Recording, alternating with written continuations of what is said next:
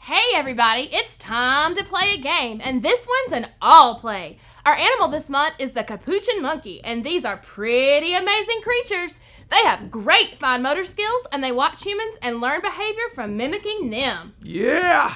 So, in honor of those very controlled animals, we're gonna play a game called Monkey See, Monkey Do, alright? I'm the monkey, so whenever you see me do something, you do it. But if you don't see me do it, then you don't do it. You got what I'm talking about? Are you guys ready to play Monkey See, Monkey Do? It's gonna be a crazy game. This is just like Simon says. You have to stop and think before you move to make sure the monkey says, Okay, let's play. Yeah.